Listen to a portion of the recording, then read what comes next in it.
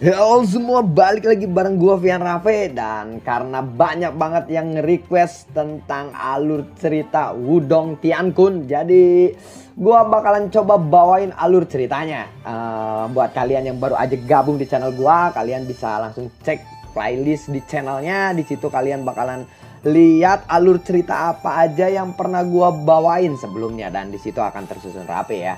Yuk tanpa banyak basa-basi lagi yuk kita langsung cek Discord aja alur ceritanya.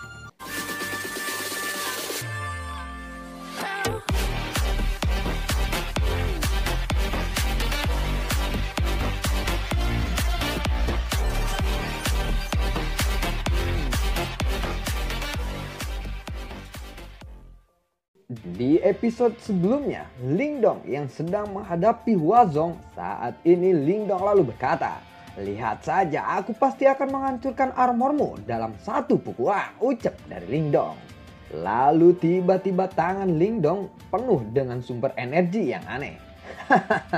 Sepertinya kamu sedang bermimpi, ucap dari Huazong. Cahaya yang sangat terang meletus dari armor tubuh Huazong Seluruh cahaya itu benar-benar menutupi tubuh Wazong saat ini. Dia berencana untuk menggunakan armornya untuk sengaja menerima pukulan dari Lingdong. Tanpa ragu-ragu Lingdong melesat ke depan dan mengayunkan pukulannya. Buar! Pukulan kuat mendarat di armor bumi misterius yang bersinar itu. Kemudian dalam radius 100 meter di sekitarnya, tanah di bawahnya pun meletus seperti gunung merapi. Buar, masih ada ledakannya saking kuat-kuatnya tuh pukulan. Ini adalah pertama kalinya Lingdong menggunakan energi esensi Yuan. Wazong yang tubuhnya telah kusut dari kejauhan mulai memuntahkan seteguk darah yang segar. Matanya dipenuhi dengan keterkejutan saat dia melihat armor bumi misteriusnya mulai retak. Bagaimana mungkin ucap dari Wazong. Wazong dengan cepat mundur dia tidak pernah menyangka bahwa Lingdong sebenarnya sekuat ini. Hei, kenapa kamu mundur? Ucap dari Lingdong. Dalam sekejap mata, Lingdong telah menghajar Huazong yang terluka parah. Kecepatannya sangat berkurang karena luka-lukanya. Lingdong, ayahku adalah penetua dari sekte boneka mengerikan. Jika kamu berani menyakitiku, tidak akan ada tempat untukmu bersembunyi di seluruh provinsi terpencil Gunung Agung ini, ucap dari Huazong. Lingdong tertawa sambil menggelengkan kepalanya. Dia lalu mengepalkan tinjunya. Cahaya kemasan mulai muncul saat dia meninju kepala Wazong. Hiat! Buar! Darah segar menyembur keluar dari kepala Wazong. Dia perlahan-lahan jatuh ke tanah. Seorang praktisi telah benar-benar dimusnahkan di sini.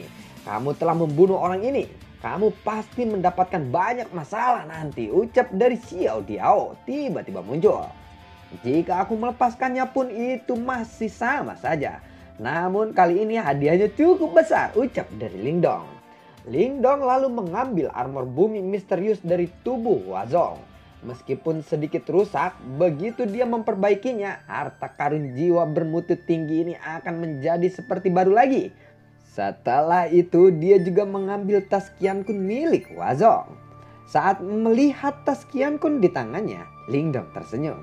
Dia memiliki 250 ribu pilyuan murni saat ini.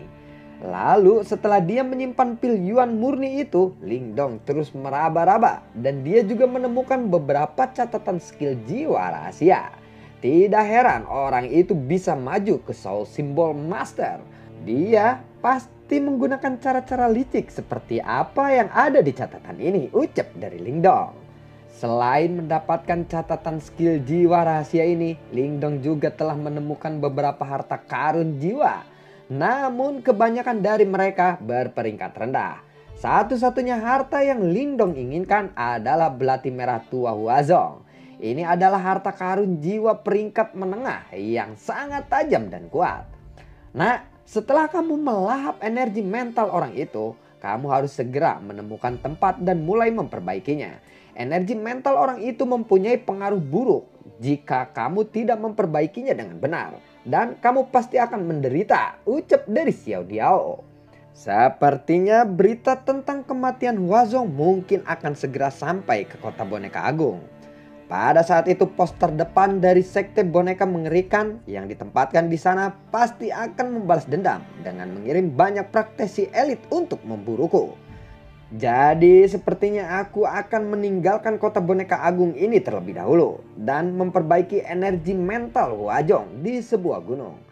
Meskipun sekte boneka mengerikan sangat kuat, bukanlah hal yang mudah bagi mereka untuk menemukanku di dalam pegunungan yang luas ini, ucap dari Lingdong. Lalu mereka pun pergi dari sana untuk menuju ke sebuah gunung. Singkat cerita, kelompok Lingdong pun tiba di dalam lembah sebuah gunung. Di sana dia merasakan bahwa energi mental di dalam tubuhnya menjadi semakin kacau. Jika dia tidak segera memperbaikinya, itu mungkin akan menjadi masalah baginya di masa depan. Xiao Yan, Xiao Diao, tolong lindungi aku. Sekali lagi, aku akan memperbaiki energi mental ini, ucap dari Lingdong. Dia segera menutup matanya dan dalam waktu sekitar dua jam, energi mental Wazong yang berada di dalam tubuh Lingdong telah dimurnikan secara menyeluruh. Lingdong mulai secara bertahap membuka matanya yang tertutup rapat. Nah, sepertinya kamu telah mendapatkan banyak manfaat kali ini, ucap dari Xiao Diao. Lingdong mendengar itu dia lalu tersenyum. Dengan menggunakan pikirannya, riak air muncul di permukaan danau. Lalu air di kolam itu terbang keluar dan menghancurkan batu besar di dekat tepi danau. Sepertinya dibandingkan dengan sebelumnya, energi mentalnya telah benar-benar tumbuh. Jika tebakanku benar, Ayah Wajong seharusnya sudah berada pada tahap pembuatan kilanjut. Ucap dari Xiao Diao. Hmm, sepertinya halangan untukku akan semakin berat untuk ke depannya. Ucap dari Lingdong. Dia lalu membalikan telapak tangannya. Dua buah eliksir berwarna berbeda muncul di tangannya. Kedua buah eliksir ini salah satunya adalah buah seribu bintang yang telah dicuri Lingdong dari Keranaga kuno dan buah yang berbintang yang dia menangkan di pelelangan. Saat ini dia berada di tahap awal penciptaan bentuk. Jika dia bisa berhasil memperbaiki buah seribu binatang, dia bisa menembus ke tahap penciptaan bentuk lanjutan. Xiao Diao lalu berkata, Hei bocah, apakah kamu berencana untuk bertarung dengan orang tua dari Huazong itu? Tanya dari Xiao Diao. Aku tidak suka membuat masalah. Namun jika mereka terus menggangguku, maka aku tidak akan tinggal diam, ucap dari Lingdong. Buah seribu binatang itu dibentuk oleh darah esensi binatang iblis. Dan buah ini sangat buas.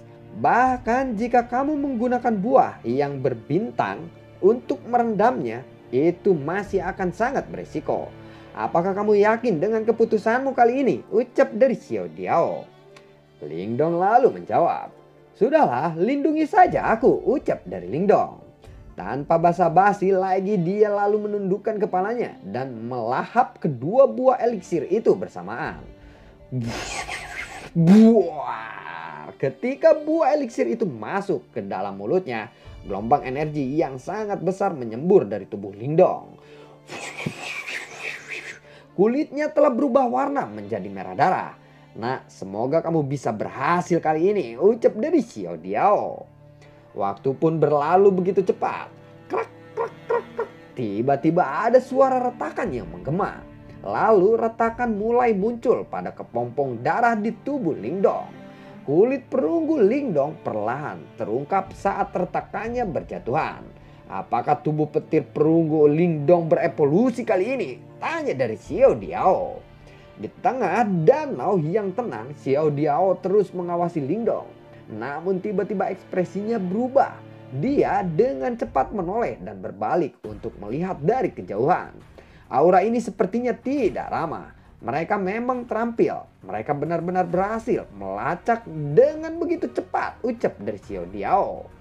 Xiao Yan yang melayang di udara juga berhasil mendeteksi aura kuat yang menuju ke arah mereka. Merasakan ada bahaya yang akan menuju mereka, Xiaoyan pun meraung dan percikan petir mulai muncul di sekitaran tubuhnya. Lalu kilatan cahaya muncul dari langit.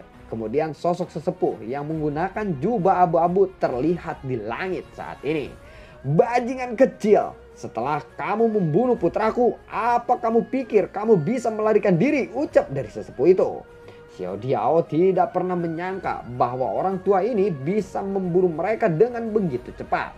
Sedangkan saat ini Ling Dong dalam berada di titik paling kritis dalam pelatihannya dan tidak boleh diganggu. Rar, Xiao Yan sudah meraung ganas pada orang itu. Sebuah bola petir muncul dengan ganas terbang ke arah sesepuh itu. Tetapi serangan itu dibelokkan oleh perisai tidak terlihat. Buar. Sepertinya bajingan kecil ini berada pada titik yang kritis dalam pelatihannya. Aku akan menangkap kamu dan memotong semua anggota tubuhmu. Dan memajang kepalamu di kota boneka agung selama 10 hari. Ucap dari sesepuh berjubah abu-abu itu. Tangannya langsung terulur dan berubah menjadi tangan energi mental raksasa dan segera melesat ke arah Lindong. Ketika dia melihat sesepuh berjubah abu-abu itu bergerak, Xiao Diao lalu melambaikan cakarnya dan cahaya ungu terbang keluar melahap energi mental itu hingga lenyap. Oh, ternyata ada jiwa iblis yang melindungi anak sialan ini ya. Dari kemampuanmu, kamu sepertinya sangat kuat ketika kamu memiliki tubuh fisik. Sayangnya saat ini kamu tidak ada apa-apanya dibandingkan denganku. Ucap dari sesepuh berjubah abu-abu itu kepada Xiao Diao. Setelah dia berteriak, energi berwarna abu-abu langsung meletus dari jubah sesepuh itu dan menyapu dengan ganas ke arah Xiao Diao. Tetapi Xiao Diao kembali menahannya dengan cahaya ungu miliknya. Energi itu terus menghantam keras cahaya ungu tua di sekitar tubuh Xiao Diao. Sementara tubuh Xiao Diao terus menerus terlempar ke belakang. Jelas dia saat ini bukanlah tandingan dari Wagu yang berada pada tahap penciptaan Ki tingkat lanjut. Sementara itu, Xiao Yan yang melihat Xiao Diao tertekan, dia lalu meraung. Arr, arr, arr. Saat Xiao Diao terus didorong mundur oleh Huagu, Xiao Yan kembali bergumam. Dia langsung menyerbu ke arah Huagu saat ini. Kemudian Huagu mengayunkan tombaknya dan dengan kejam memukul Xiao Yan dengan kekuatan yang luar biasa. Hiat, mati kau buah. Setelah dipukul oleh tombak itu, tubuh Xiaoyan segera terempas. Kemudian tubuhnya yang besar menghantam batu gunung. Kamu, kamu bangsa Aat, ucap dari Xiao Diao. Ketika Xiao Diao melihat Wagu menyiksa Xiaoyan, kemarahannya lalu muncul di matanya. Kemudian ia membuka mulutnya dan meludahkan sejumlah besar sinar ungu. Ketika sinar cahaya ungu ini muncul, cahaya ini berubah menjadi pedang ungu yang berputar. Roda ajaib merobek surga, teriak dari Xiao Diao. Dinding tulang surgawi, teriak dari Wagu. Iya, tidung tanding tung tanding itu buah, iya buah. Dalam sekejap mata, bayangan tulang yang memenuhi langit milik Huagu telah hancur total. Huagu tidak tinggal diam melihat ini. Yuan power di dalam tubuhnya meledak begitu saja dan cahaya di tombaknya menjadi semakin cemerlang. Dengan kekuatan yang menakutkan, dia perlahan mengarahkannya ke pedang berputar berwarna ungu itu milik Xiao Diao. Lalu kedua skill itu bertabrakan. Buar, semburan air mancur terus meletus dari danau di bawah. Hah, sepertinya aku gagal lagi, ucap dari Xiao Diao. Tiba-tiba cahaya keemasan yang sangat terang meletus. Xiao Diao melirik ke samping dan melihat gelombang energi yang sangat kuat muncul dari sosok Lindong saat ini. Apakah anak itu akhirnya berhasil atau tidak? Ucap dari Xiao Diao.